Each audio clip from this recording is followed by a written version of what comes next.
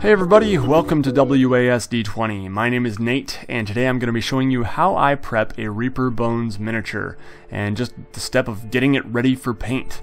I really like Reaper Bones miniatures. Uh, they are lightweight plastic miniatures, they're pretty good looking, and the main thing is they're cheap. In general, I think you're going to spend about two to three times more for a metal miniature than you would for one of these Reaper Bones. And again, these are really good looking for a plastic miniature. Now, I should say that I don't claim to have the very best method for prepping these miniatures, but I think it's a very solid method uh, that is good enough for most people. And uh, some of the professionals out there would probably find some faults with it, but uh, it's pretty good balance for me for my time and my money spent. The mold that I'm going to be painting today is a Bugbear. It is 77015. Uh, it's in the Dark Heaven line of the Reaper Bones. Alright, now let's start talking about the actual steps in prepping the miniature for paint. These are the steps that you're going to see laid out in more detail in the rest of the video. First, we're going to open it up. That's important. Number two, get it clean and dry. Thirdly, we're going to affix the miniature to a base, and that's an optional step, but it's something that I like to do with my minis. Number four, don't skip this one, prime. Very important. Number five, I usually mount my miniature on something else for better handling so my fingers don't get in the way, you'll see. And number six, we're going to give the miniature a quick dry brush to pull out some of the detail that you can't see otherwise so that we can more easily paint those details. Now the process of prepping a miniature is not very glamorous, but uh, it is a pretty important step even if you don't see any amazing results coming to life here. So without further ado, let's get going. So after taking the model out of the package, the first thing I'm going to do is wash it off. What I have here is uh, a little bit of water with like two drops of dish soap in it. Uh, so not much, and then I've got a toothbrush that I use to scrub, but uh, you can use anything. You can even just let the miniature soak in the water. And then over here I've got some uh, rinse water as well in the background. And uh, I'm just going to be washing this thing off. So why do we do this? Well, in the manufacturing process, uh, there's just bound to be some manufacturing residue, some factory residue, some oils, and whatever else. And uh, it's just a good idea to get it cleaned to make sure that the paint and primer sticks really well to the miniature. I'll even do this if I open the miniature and like let my kids play with it with their grubby little hands. I want to make sure I get that thing really, really clean so that the paint can stick pretty well. You might have okay luck skipping this step, um, and a lot of people don't do it. Uh, but I like to do everything I can to make sure the paint's going to stick good and increase my chances for a good looking miniature. So after you rinse the miniature, the next step is to dry them off. So I'm just swishing them around here in the rinse water, and then I'm going to dry them off with a towel. Uh, so first I use a towel here, and then you can see me getting in some of the uh, little areas where the water pools with a paper towel, just kind of dabbing it in there. And uh, you'd be surprised how many little pools gather in a miniature like this with a lot of detail. But honestly, one of the best ways to do this is just to let the thing dry overnight. Just set it in a dry place and let it dry. Uh, if you are really in a hurry though, I would recommend after doing this, using a hair blow dryer. Uh, that's really the only method I've found to get it completely dry. Uh, just make sure you don't have it too hot. Now, speaking of heat, one of the disadvantages to the Reaper Bones miniatures is that some of the parts are sometimes bent. Uh, you can see this club is just a little bit bent, and I can't tell if it's intended to be that way, but it doesn't bother me at all. I kind of like it. Uh, it's just got a little bit of a curve to it. I've had others that are really bad, though, where a sword, a very thin sword, is just bent and it looks really bad. So uh, there are ways to fix that. I recommend Googling it, uh, but basically it involves using some uh, boiling water and, uh, and being a little bit careful. One thing to note is I don't have to get this thing totally dry right now because I'm actually going to be basing this miniature before I prime it. So this miniature has a nice base, but a lot of people like to add a round base. And you can feel free to skip this step, you don't need that. But I like to add a base to my miniature, uh, just to make it look a little better.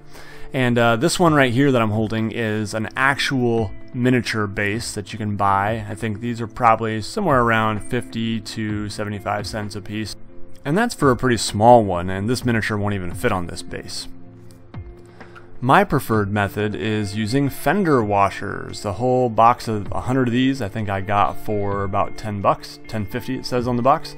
So yeah, these are really great, and I pre-primed a whole bunch of them uh, just with black primer, and that's generally what I use. Now these ones also are a little too small, so I've actually purchased some larger fender washers that I'm going to be using, and those can get a little more pricey because I usually don't buy them in bulk. Uh, this one may have been, I don't know, a dollar, uh, 75 cents, something like that. So I do go with these usually because they save a bit of money, and I also like the added weight that a metal washer provides. Uh, it's nice to have a little extra weight on a plastic miniature that's pretty lightweight, especially some weight on the bottom to keep the thing from tipping over very easily. In order to save money, I once tried to make these little clay bases, and it went okay. They didn't turn out that uniform or great, uh, but these work too. Sometimes I'll use these for like a uh, little goblin or kobold or something like that. Now to glue this guy to the base today I'm going to be using some goop. Uh, this is just a pretty strong glue uh, and you could use super glue, gorilla glue, crazy glue but uh, I'll just put a couple of drops of this on the bottom of the miniature and uh, then I will stick him to the base. So I let the thing sit and dry for about 5 minutes here and then I came back and with some regular PVA glue like Elmer's I actually went around the base and uh, what I'm gonna do here is I'm trying to ease the transition between the base on the, uh, the white base and the actual um, washer. And so you can kind of smooth that out and add some uh, PVA glue around and kind of mold that the way you want. And my initial gluing just kind of sticks pretty close to the existing base uh, but again just trying to ease that transition. So I let it dry here and we can have a look and see uh, the glue is somewhat dry, and now I'm going to be adding a lot more glue and getting out that kitty litter. Yep, that's right, I'm using kitty litter to simulate the effect of gravel and rocks. Some people use other materials, you can use sand, you can use little rocks, there's all sorts of things, but I got some kitty litter from my neighbor. It is clean kitty litter. It is not used. Uh, that's an important thing to note. And I'm actually going to kind of crush it to make it smaller because I want it to be a little more sandy, just a little more fine. So I spent another minute or so trying to crunch that down, but now I am covering the whole base in glue. And what I'm going to do is just kind of sprinkle that kitty litter on and uh, try to get it to stick there. And I won't show it all, but I uh, sprinkled it all and then I actually let it dry overnight and decided to build it up a little bit higher to ease that transition. So um, you're going to see here the final product after waking up the next day. Uh, here's about what it looked like with the kitty litter base. And now we finally come to the very important step of priming your miniature. In terms of primer today, I'm going to be using Krylon Color Master Primer. This is Cover Max Ultra Flat. And uh, yeah, it's pretty good stuff. It's just kind of standard, pretty inexpensive primer. It's nothing fancy, nothing specific to miniatures, but I find it does the job just well enough. And uh, yeah, just make sure you shake it really well because if you don't shake it, you can get some clumps and drips and uh, you want it to go on nice and thin and smooth. That's the goal here. Uh, you can use black. Uh, I often use gray as well, and once in a while I will use white if I know I'm going to be painting it very light colors. Okay, back to the shaking. Seriously, folks, you want to shake this stuff for like two minutes. Like, set a timer because you really want to make sure it's nice and thin. You don't want to ruin your miniature with big clumpy drips. Alright, and now we get down to the actual priming. So I'm in a well-ventilated area. I am outdoors in my backyard. I've got a nice board that my wife painted some uh, curtain rods on. And uh, I'm going to be doing nice, even, short passes over the miniature. And I'm going to be shaking frequently in between these passes. Uh, one thing you want to do is make sure that you are about a foot away uh, from your miniature. Some people do even further than that. Sometimes I'll even get a little closer and go 10 inches, but probably not recommended. Uh, so I'm doing nice thin passes, and when I want to rotate, I grab it by the base so as not to smudge the miniature, or you can just rotate the entire board, or sometimes cardboard is what people use. But uh, this really is an exercise in patience because I'm not making a ton of progress all at once. It's just little tiny bit by bit, and sometimes I, you know, get get get in there and get a close look at it, make sure I'm not getting any drips, If so, you can always wipe it off and kind of start over. But um, yeah, you want to be very careful and uh, just keep on doing it. Sometimes you get a little coat on there and then you maybe come back five minutes later, let that dry a little bit, and uh, just keep on going. So I will speed through the rest of the spray painting because I think you get the idea, but I just keep on rotating. Eventually I turn them over on the other side and eventually turn them right side up and just trying to get as much coverage as I can and uh, when in need leaving it dry for a few minutes and coming back. One important thing to note is I'm doing this in the shade in the grass on a nice 82 degree day. The other day I did it on a day that was closer to 90 degrees and I did it in the driveway and it was just too hot so my primer dried with a very fuzzy finish and it was a little bit tacky to the touch. Alright, so here we are, primed and ready to go. You can see that there are still some white areas that didn't get fully filled in with primer, but that's okay. Uh, what I often do then is just come back with some black paint and uh, try to get that in all the cracks and just make sure that the whole thing is completely covered in a nice dark black base. And there are basically two things left that I usually do. One of them is cover the kitty litter in some watered down PVA glue. Uh, and the last thing that I often do is give the whole miniature a good dry brush to kind of pick out the detail to make it easier to paint. So here you can see the kitty litter is, some of it's come up already, so I'm going to be covering it in a watered down glue solution of one part Elmer's glue and maybe four parts water. And I'm not using one of my good brushes here, uh, just kind of a crappy old brush, and I'm very lightly brushing it on because I don't want to disturb the kitty litter more than I have to and knock more of it off. So I'm just going to cover this. I think I did two coats here all said and done, and uh, that's going to help that kitty litter stick. Paint works too, the primer helps a little bit, but uh, the glue really does the trick. A clear finish can also do the trick if you'd rather try that. I have dull coat lacquer or this gloss varnish.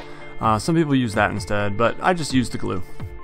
So as we're waiting for the glue to dry here, I thought I would also mention that uh, I like to mount my miniatures, as you noticed, on things to make them easier to hold. So this right here is a organic baby food jar, and uh, it works pretty well for a miniature this size. I just hold it there with some poster putty, and I couldn't find my stash of poster putty, so I've only got a little bit holding it there. Uh, ideally, I would have more, but I highly recommend finding something around the house to do this with because it just makes it a whole lot easier to paint the miniature uh, when your fingers aren't getting in the way. And you really can use anything. Here's a lid from my kids' bubbles that uh, would do just fine. It doesn't give you quite as much to grab onto, but it would do, it would help. Uh, another thing I have around here is an old uh, craft paint lid. And I've got a few of these around from old dried out craft paints that work really well to hold a miniature. I've also seen some people use wine corks. So yeah, really, just anything around the house that you can find would help a lot. Alright, now the last step in my prep process is a light dry brush over the entire miniature with a lighter color, uh, just to help lift out the details of the miniature so I can see them better and better plan what I'm going to paint. It just makes sure I'm not going to miss any little buckles or straps or pouches, and uh, it's really helpful. So I'm mixing a light gray, and I just need something that's a little bit lighter than my base color, uh, so I don't need to go bright white here. I don't want to brighten it too much and create too much contrast, just enough to pick out the colors. So I'm really shoving my brush down into this gray. I'm using a really crappy old brush. It doesn't, it should not be a good one because you're just going to be shoving this thing around a lot. And uh, after you load it up, then you dab it on the paper towel.